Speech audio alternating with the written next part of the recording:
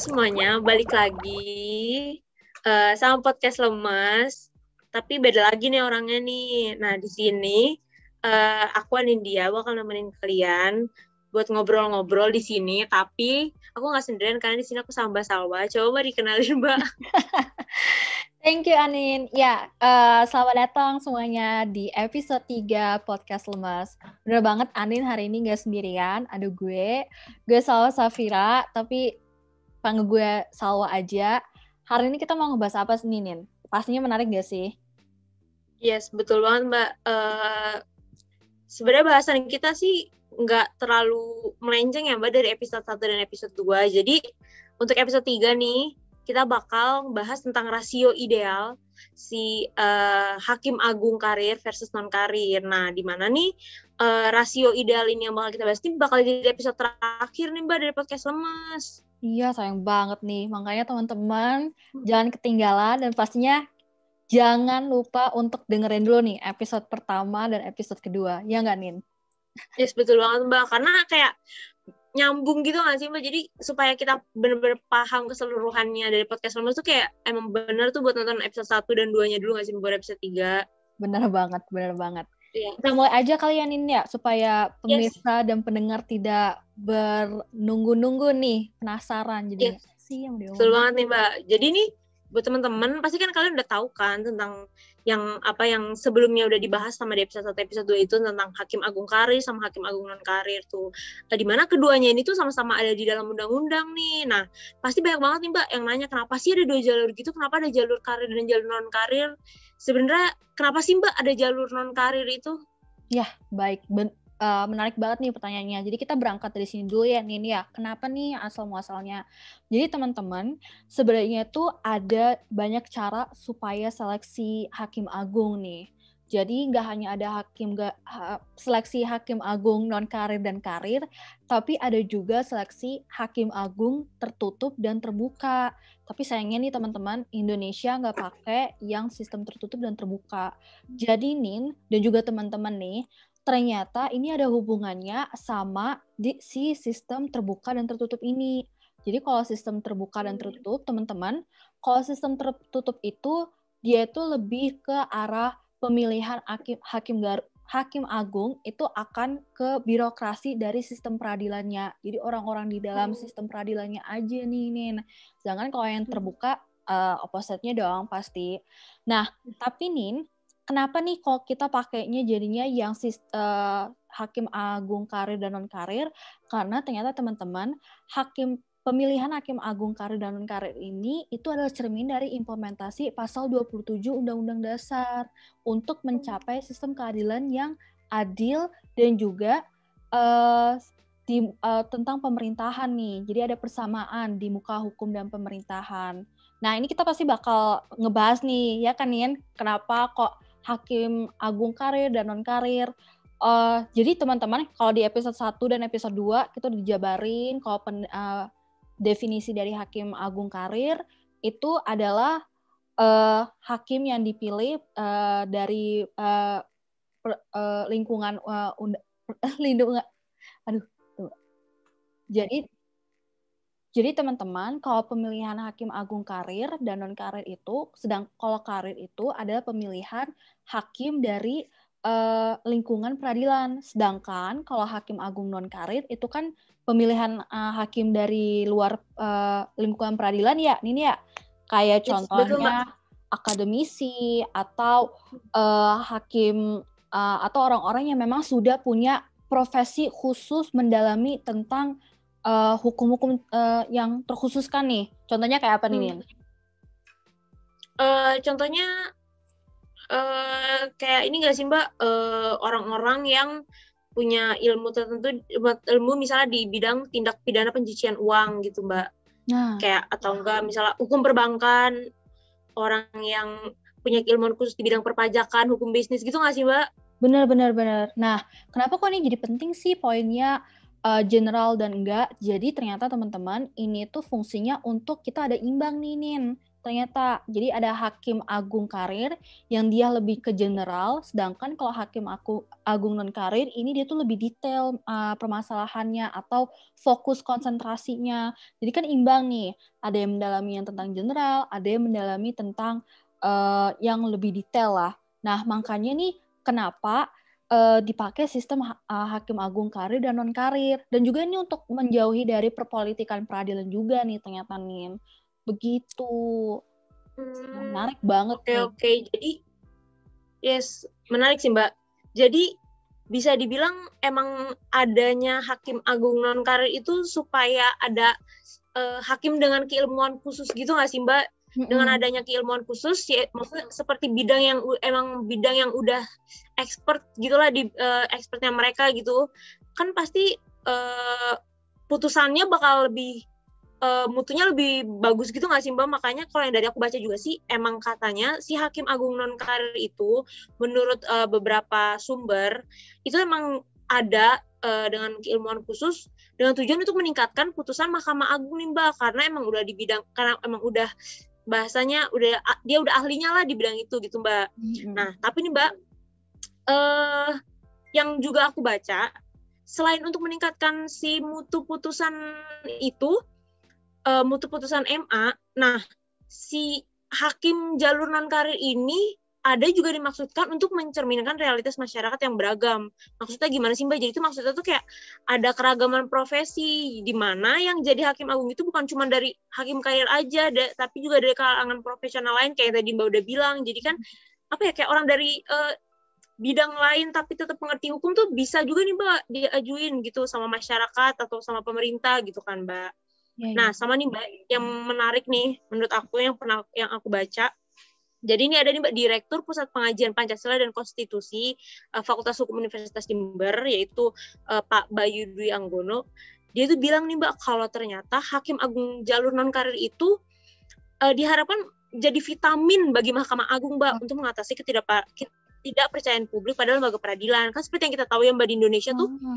masyarakat itu masih banyak banget masih banyak banget masyarakat yang tidak percaya gitu loh mbak dengan lembaga peradilan karena mungkin banyak-banyak praktek yang uh, entah itu misalnya korupsi atau suap atau apa kan sehingga menghilangkan kepercayaan masyarakat. Nah dengan adanya pihak yang bukan dari lembaga peradilan ini yaitu hakim agung non karir diharapkan uh, bisa mengatasi ketidakpercayaan masyarakat itu nih mbak. Ternyata uh, kalau yang dari aku baca nih. Wah, iya iya. Ternyata menarik mbak. Dan banyak banget ternyata alasannya ya mbak. Iya iya jadi vitamin ya ternyata nih ya ini krusial banget nih yes, jadinya. betul. tapi nih nah, nah tapi mbak gimana nih nih bisa barengan gitu ya? Jadi ini kita kita semangat banget soal kita semangat banget nih mbak. Iya nih karena topiknya nggak hanya menarik juga teman-teman tapi kita bisa semoga nih ya uh, impian kita adalah meningkatkan kualitas juga hakim-hakim di Indonesia. Tapi sayangnya nih Nin, ternyata kita belum sampai ke situ nih Nin. Ternyata baru aja nih gue dapet info ya nih oh, ya. Tahun ini mm -hmm. ada sekitar 117 117 hakim yang mendaftar, baik dari hakim agung, karir dan non karir nih untuk jadi hakim agung nih. Tapi nih ternyata banyak banget yang diterima dari jalur karir sebanyak 75-an. Sedangkan sisanya hmm. berarti 40-an ya Nin ya. Itu dari yes, hakim non karir. Gimana nih Nin? Kita hmm. menurut menurut Nin penting gak sih kita sebenarnya ada rasio yang balance gitu secara uh, angka gitu atau gimana nih? Gimana nih? Uh, kalau menurut aku nih Mbak, kalau dari yang aku baca-baca sih, hmm, penting sih Mbak harus hmm. apa uh, harus ada balance-nya gitu sih Mbak. Balance tuh penting banget menurut aku sih karena kayak yang tadi udah Mbak bilang ya kayak hakim agung non karir dan hakim agung non karir itu masing-masing punya peranan sendiri nggak sih Mbak? Masing-masing emang hmm. punya uh, hal yang diharapkan gitu mbak. Jadi misalnya pun gak ada hakim non karir tetap sangat disayangkan gak sih mbak kalau misalnya nggak ada hakim dengan keilmuan khusus yang di mana itu emang sangat dibutuhkan gitu mbak. Jadi kalau menurut aku uh, keseimbangan rasio yang seimbang tuh menurut aku penting gitu. Gimana? Kalau menurut mbak sendiri gimana nih? Rasionya apakah hakim karir aja yang harus lebih uh, besar atau gimana nih mbak kalau menurut mbak? Benar-benar. Aku setuju banget sih sama Anin. Kalau butuh dari quality sama quantity itu harus seimbang. Karena ternyata Ninin gak hanya di rasionya doang, dari segi pendaftaran aja nih Nin ternyata itu diribetinnya itu di bagian hakim agung non karir. Jadi lebih banyak dia oh. requirementnya dibandingkan hakim agung karir. Nah itu yang pertama. Dan itu dari tahun 2016 nih Nin ternyata udah jadi concernnya nih. Udah udah lima tahun yang lalu nih ternyata nih. Udah dibahas. Lama ya mbak ternyata. Makanya udah lima tahun udah dibahas katanya udah dibilang kalau ad, harusnya ada seimbang nih hakim agung non karir dan non karir dari segi uh, pendaftaran requirement tuh harusnya imbang gitu. Tapi ternyata kan tidak ya. Jadi tuh kalau menurut aku tuh aku tuh kayak paham gitu loh nih kenapa kok hakim agung karir itu lebih dibanyakin. Karena mungkin dari uh, dari lingkungan peradilan ya. Tapi kan untuk meningkatkan kualitas tuh uh, berarti harus imbang dong dalam artian dari segi hakim agung non karir juga berarti ada training atau misalnya memang untuk memfamiliarkan atau lebih paham tentang uh, lingkungan peradilan itu berarti lebih dijosin lagi gitu. Tapi sayangnya ini kayaknya kurang kurang menjadi perhatian nih. Nah, yes, ini betul gini. banget nih Mbak. Se kayak emang masih banyak banget sih Mbak kayak pihak-pihak yang merasa kayak yang emang lebih penting itu yang harus diprioritaskan itu ya hakim agung karir gitu ya nggak sih Mbak? Salah satunya aja nih ada nih Pak John Kennedy Aziz, eh, Aziz nih maaf. Jadi dia tuh anggota Komisi 3 DPR RI. Nah, menurut beliau itu yang lebih harus diprioritaskan itu ya Hakim Agung Karir karena menurutnya dia eh karena menurut dia Hakim Karir Hakim Agung Karir itu udah mendalami gitu loh Mbak dalam pembuatan keputusan dan bisa menilai kebenaran fakta di persidangan gitu Mbak. Nah, selain pendapat beliau juga sebenarnya tuh masih banyak banget nih Mbak pendapat-pendapat yang bilang kalau ternyata kalau katanya tuh ilmu-ilmunya hakim agunan karir itu katanya biasa aja mbak.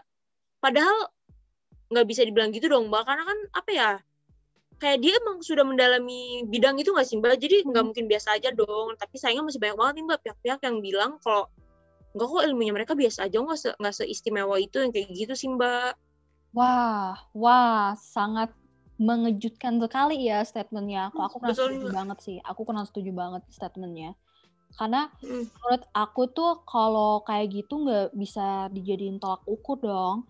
Kalau menurut aku tuh hmm, justru nggak bisa banget kita bilang kayak hakim non karir dia tidak mempunyai keilmuan yang sama dengan hakim agung karir.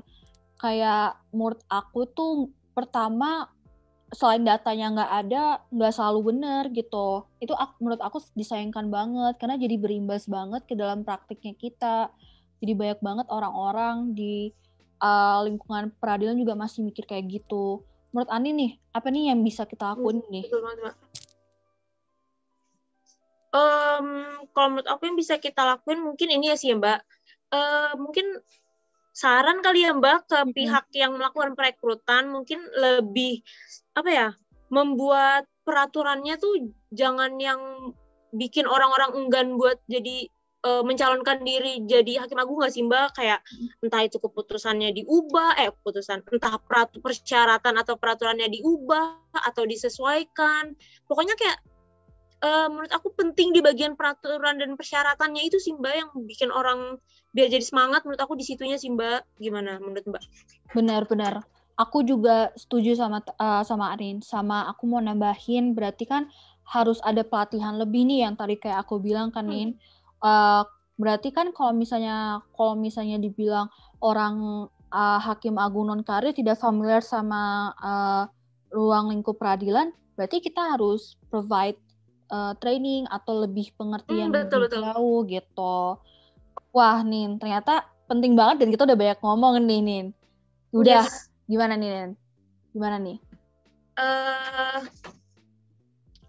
mungkin kita pengen kasih ini kali ya, Mbak, kayak semacam kesimpulan ya nggak sih mbak untuk mm-hmm. teman-teman sebenarnya masih mungkin sebenarnya tadi juga bingung dari tadi kita ngomongin apa sih gitu jadi sebenarnya kesimpulan dari yang tadi kita omongin yang kita ngomongin macam-macam ini sebenarnya kalau dari kita menurut kita uh, rasio ideal hakim agung versus agung eh, versus hakim agung non karir itu seharusnya seimbang nggak sih mbak menurut kita karena walaupun emang nggak ada peraturan baku yang Mbak mengenai si rasio ideal ini. Cuman kalau emang berdasarkan dari yang kita cari-cari, kita baca-baca, itu ya keduanya tuh punya punya peran yang emang sama-sama penting dan menurut kita dua-dua itu emang harus ada di peradilan kita. Jadi ya emang rasionya harus seimbang gitu nggak sih? Iya nggak sih Mbak? Atau mau gimana? Ada tambahan nggak di kesimpulan itu?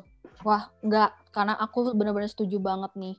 Jangan sampai kita nggak uh, mencerminkan nih uh, nilai-nilai keadilan di Indonesia hanya karena ada masih orang-orang yang berpikiran hakim agung non karir tidak penting. Itu sayang banget sih. Iya, betul, betul. juga sayang banget sih penting banget untuk menyeimbangkan baik dari uh, angka atau kualitasnya nih nih hmm, betul gitu. nih karena kita udah di penghujung teman-teman kita tuh kayak bener-bener Semoga nih ini jadi pelajaran juga nih ternyata nih bagi kita sebagai anak hukum untuk lebih sensitif nih terhadap hal-hal kayak gini. Benar-benar harus mendalamin karena ternyata teman-teman belum banyak juga nih literatur yang membahas tentang hal ini gitu. Kenapa iya, kok? betul banget nih, Mbak. Nah, ini disayangkan banget nih, Nin. Dan juga semoga nih podcast kita menjadi selentikan lah buat masyarakat untuk jadi lebih untuk jadi lebih wow dan selintikan ya, lebih betul. keras buat kita anak hukum. Betul banget, Mbak. Oke, okay, kalau gitu, uh, udah selesai nih mbak, kayaknya mbak. Hmm, gak banyak banget uh, okay. cerita-cerita. Mm -mm. Jadi thank you banget nih teman-teman yang udah dengerin podcast lemas. Pokoknya uh, kita sih berharap ya itu tadi teman-teman bisa uh, kita bisa memberikan apa ya uh, pencerahan lah sedikit pencerahan untuk teman-teman. kita berharap juga semoga teman-teman jadi semakin kayak wah jadi makin penasaran tentang hakim hakim agung yang karir versus non karir akhirnya mereka akhirnya mencari-cari lagi literatur gitu bener, yang, bener, yang bener. sekarang belum kita omongin gitu yang sekarang belum kita sampaikan kali aja nanti teman-teman bisa mencari sendiri gitu kan jadi lebih bersemangat untuk mencarinya. Oke okay, kalau gitu uh, aku Anindya. Aku Salwa. Uh, yes, uh, kita pamit dari podcast lemas sampai jumpa di lain kesempatan teman-teman Dah. Dadah. Thank